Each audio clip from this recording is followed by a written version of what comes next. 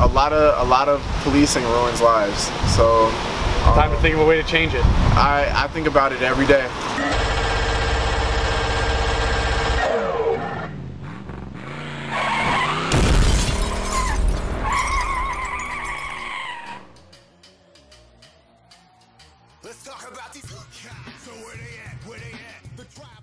What do we pay police to do?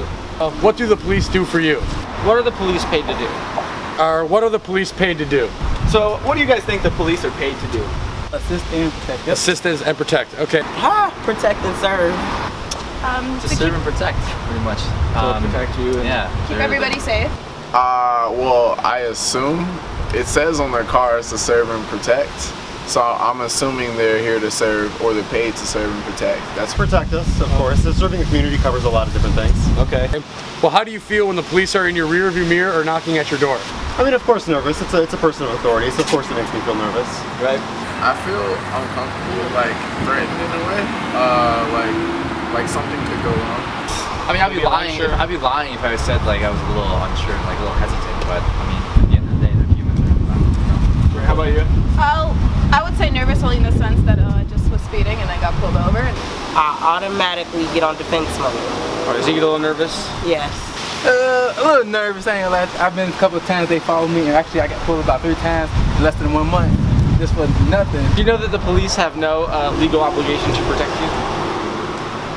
I mean, if that's true, I was not aware of it.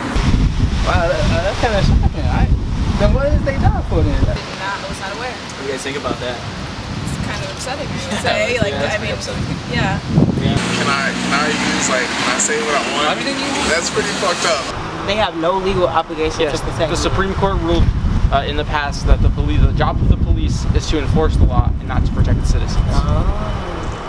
I didn't know that. Just told you that it has been ruled that they're not obligated to protect you.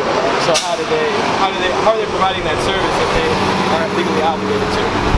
Kind of the same way anybody's legally obligated or not to do anything. I mean, a psychologist isn't legally obligated to help people, but he wants to do it, so he does it. Same way a police officer. He's not legally obligated to do it, but the fact is they still do it. So I'm actually still really happy with the police force so far, just because as far as I've seen, I have yet to see a dangerous thing go down and a cop being like, nope, not going to do that. So. Is knowing these things now that the police aren't obligated to protect you, but that's what they claim to be paid to do.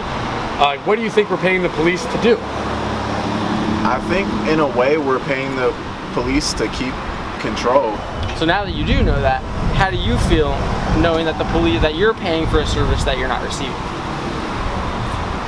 I feel bamboozled. Knowing that now, how do you feel knowing you're paying to be protected, but they have no legal obligation to protect you? Yeah, it's, not, it's a waste of money.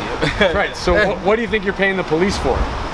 Just a salary at this point. So now knowing all of this stuff, how do you guys feel about paying for this, you know, this service that you're not receiving? That, that you're forced to pay for a service that you're not, it's, it's not a voluntary, you know, you're not voluntary. I mean, even though even though I wasn't aware of it, like I said before, I'm sure there's cops out there that are actively, you know, serving the community, even though they're not, I guess, obligated to, but they're still doing the job to do that. So, like, yeah. It's like, I think it's like socially, like, that's just what we tend to think that they do and that they are doing. So I don't think it's like a, I mean, even though they're not forced to do it, they're still doing it. I think it's bullshit. Well, we appreciate your time. It's one question that we want people to ask, you know, that if you're going to pay people for a service, you should get it. Exactly. And I think that policing would be much better if everybody paid for the service they, they actually wanted and got it. And then Uh-huh. we would have like more accountability and more, we'd have a better policing service. Right now, we have a service that doesn't do anything that claims it does Yeah. and uh, harms more people than it helps.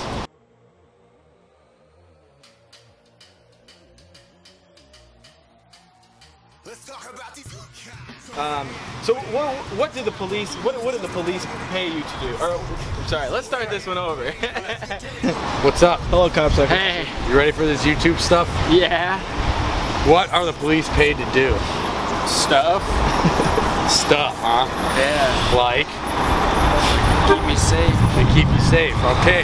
How do you feel when you see the police in your rearview mirror or knocking on your door? A little concerned. A little concerned. like nervous? Yeah. Like scared? Sure. Do you ever wet your wet your pants? No. Not when the police are coming even? No. Okay. Did you know that the police have no legal? Thank you. Are you next? from ever losing their you wonder why there's criminals enforcing the? Just ask her. So where they at? Where they at? The drive for evil is just a failure to act by all these good cops.